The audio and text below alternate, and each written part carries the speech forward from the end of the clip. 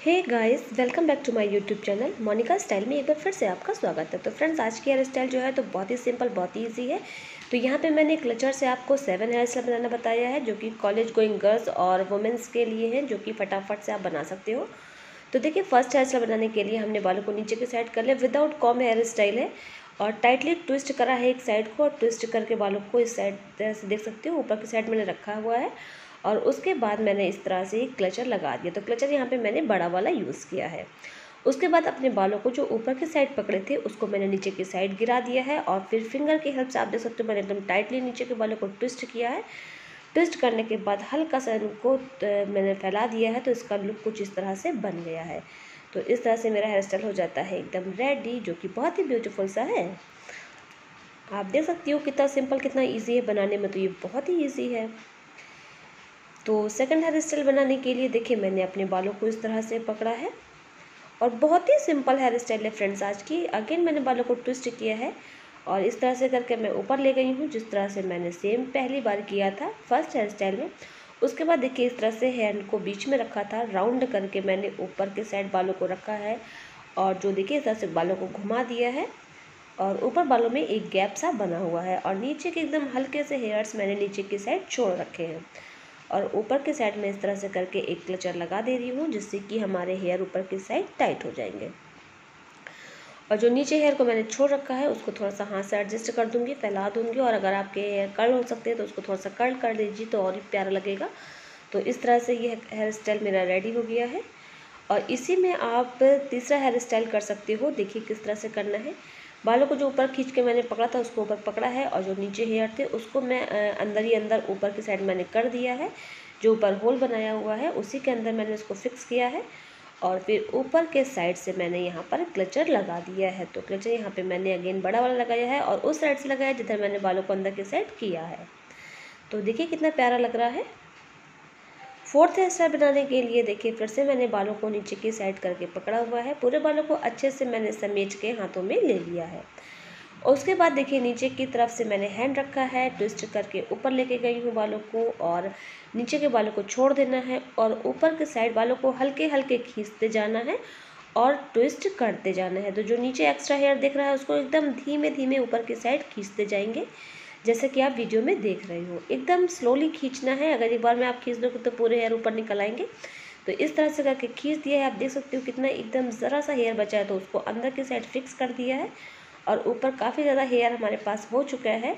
और जहाँ से मैंने हेयर को पकड़ के रखा हुआ है, वहाँ पे हम एक क्लचर लगा के अपने बालों को टाइट कर देंगे। और जो ऊपर मैंने बालों को खींच के निकाला था, उसको कुछ इस तरह से करके खोल देंगे पूरे बालों को। जो ऊपर एक रोल सा था तो उसको हम खोल देंगे पूरे हेयर्स को। और अपने क्लचर के ऊपर कुछ इस तरह से फैला देंगे कि हमारा क्लचर ढक जाए यहाँ पे। और थोड़ा सा यहाँ पे देखिए कितना प्लफी लुक बन रहा है।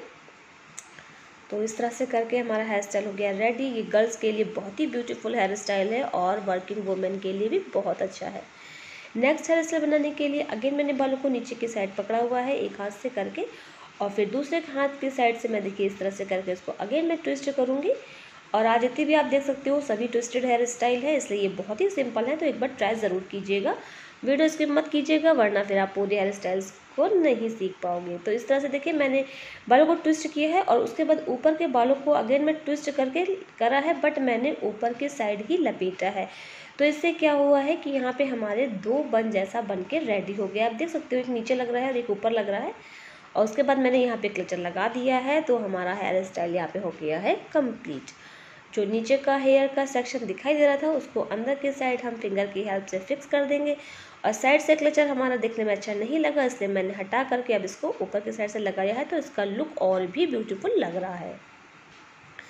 नेक्स्ट हेयर स्टाइल बनाने के लिए, मैंने फिर से बालों को लिया है। आप देख सकते हो, यहाँ पे मैंने कहीं भी भी कॉम का यूज़ नहीं किया। तो इस तरह से मैंने एक फिंगर फंसाई हुई है, आप देख सकते हो नीचे की साइड ये देखिए इस तरह से और एकदम टाइटली ट्विस्ट करके अपने बालों को इस तरह से राउंड करते जाना है। एक बन जैसे जैसे आप बनाते हो ना सिंपली बन तो बस उसी तरह से इसको टाइटली ट्विस्ट करके लपेटते जाना है। तो इस तरह से मैंने लपेट लिया है। एंड वाले पार्ट को मैंने पकड़ के रखा है और फिर बीच से जो बन लपेटा था, मैंने उसको खोल दिया है और ऊपर की साइड आप देख सकते हो, मैंने वालों को पकड़ के रखा है और एंड वाले हेयर को मैंने अंदर की साइड यहाँ पे इंसर्ट कर दिया है। और ऊपर का हेयर आप देखो यहाँ पे, जहाँ पे मैंने फिंगर रख रखी है तो वहाँ पे एक होल सा बना लेना है।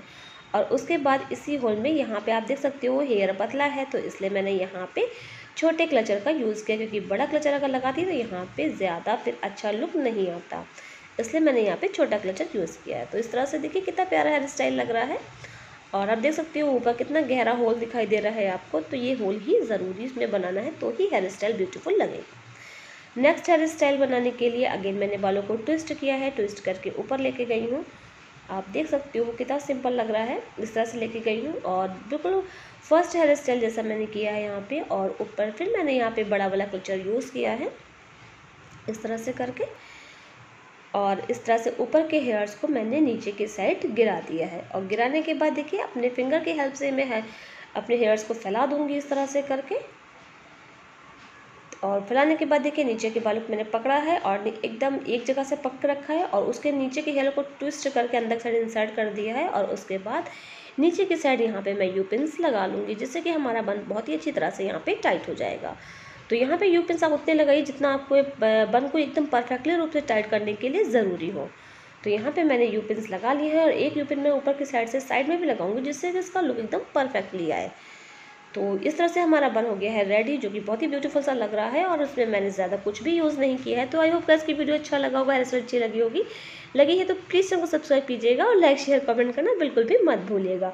मिलेंगे आपसे अपने नेक्स्ट वीडियो में नेक्स्ट हेयर स्टाइल के साथ। तब तक के लिए bye and thanks for watching